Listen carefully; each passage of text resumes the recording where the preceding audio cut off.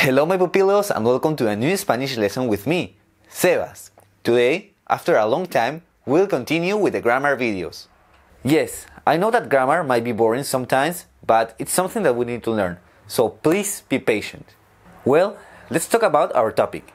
Today, we'll talk about the qualifying adjectives or adjetivos calificativos, as we call in Spanish, and some of the rules we use for them. But first, do we know what an adjective is? It's very simple. It's every word that modifies or qualifies the nouns. By the way, if you haven't seen my video of the noun, you could watch it in the link up there.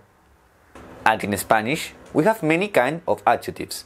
For example, adjetivos calificativos, determinativos, demostrativos, posesivos, exclamativos, interrogativos, entre otros.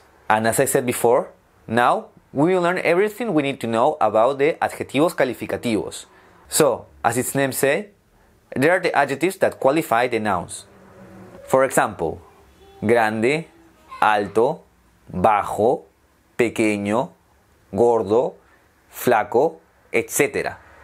And what do we need to know about the adjetivos calificativos? Basically, three things determination, the position in the sentence, and the comparison rules. In this video, we will learn about the two first statements. The third one is going to be made in another video.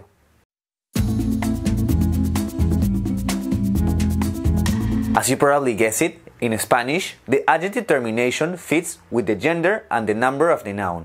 And I assume that you already know everything about the rules of the gender and the number of the nouns because you have already seen my videos of the lesson 3 and 6 from the grammar series. If not, you could click up there. So let's see an example to clarify this. El gato pequeño, the small cat.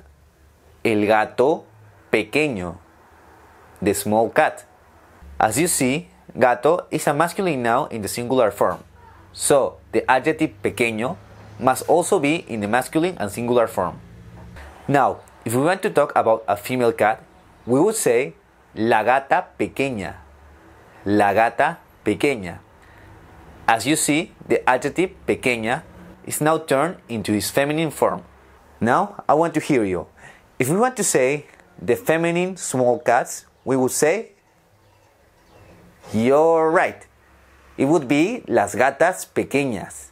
Las gatas pequeñas. Now, we must know that the adjectives that have a gender variation are those which have a termination in the vowel O or A. For the adjectives with another termination, there wouldn't be a gender variation. For example, we would say el gato fuerte, la gata fuerte, or el gato veloz, la gata veloz, el gato torpe, la gata torpe.